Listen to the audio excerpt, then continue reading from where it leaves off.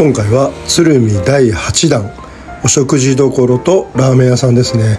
まずは牛尾田の手打ちそば友吉さん。本当にそば好きだったらまあ鶴見一番美味しいそば屋だって言っても過言ではないと思います。僕が言ってるだけじゃなくてそば好きの人は認めてくれると思います。ここのそばは本当に美味しいです。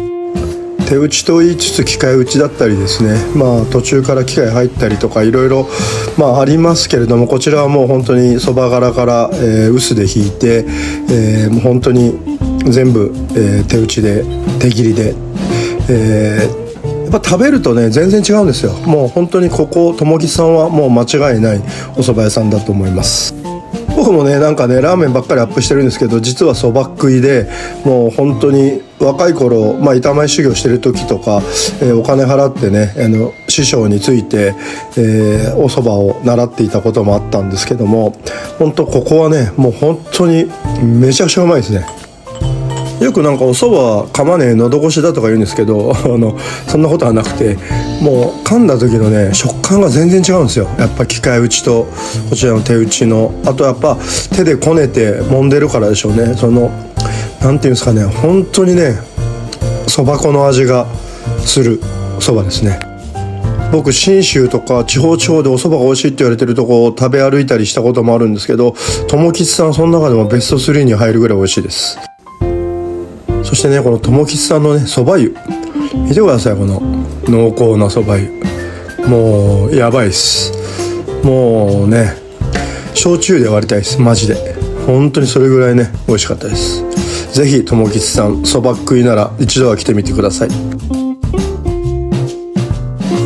そしてね鶴見とい中華といったら東林さん。ね僕はもうここ来たら頼むものは1個しかないんですよね。基本的にこちら牛バラご飯が有名なお店で、えー、牛バラ推しの人がいっぱいいると思うんですけどもちろん僕は牛肉ご飯です。この日はねなんかねやったらしょっぱかったんであの後でなんか今日すごいしょっぱかったよって言ったらああそうって言われて まあいいやと思って。でもねあの基本的にはいつも美味しいんでまず間違いないと思います。こちら他にも焼きそばとかチャーハンとか結構美味しいです。まあ僕の個人的な意見ですけどこちらの汁物は僕はちょっとどうかなと思います。まあ基本的に牛肉ご飯一択ですね僕は。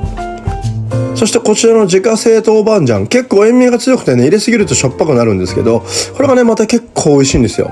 でちょっとねつけつけ食べるとまた美味しいと思います。ぜひ、えー、鶴見の通りに行ってみてください。1時半で閉まっちゃうんでねハードル高いんですけどぜひ行ってみてください。そしてこの日はね鶴見のあんあんに行ってみました。焼肉屋さんですね。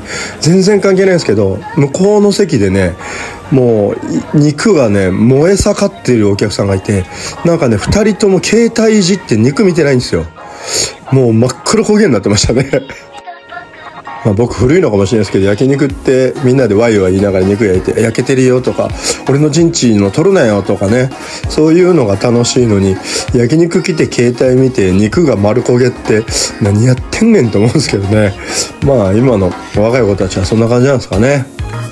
最近ねあんあんね結構ね美味しいのを発見してミノが結構あんあん美味しいというのが分かってあとは、えー、漬けハラミっていうのが結構良くてあとこのエリンギホイル焼きこれはね美味しくてこの3つをずっと頼みます。あとねユッケシャンスープもね結構美味しいんですよ。で、まあ、ハイボールとか安いでしょ？生も。だからなんかちょっと飲もうよっていう時はねあんあんね結構いいなって最近気づいてよく使うようになりました。鶴見ってね遅くなるとラーメン屋さんが全部閉まっちゃうんですよ。でもだから鶴見の救世主的存在ですね。ラーメン豚山さん。まあ、僕的にはもうちょっと頑張ってほしいなっていう味の面では思うんですけどでももう本当に夜遅くまでやってくれて感謝です。もう何も言うことはないです。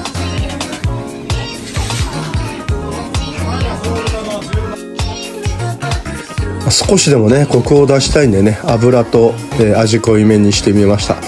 うん、まあ、まあまあまあまあいいかいいというかまあもう遅くまでやっていてくれてありがとうございますって感じの味ですね。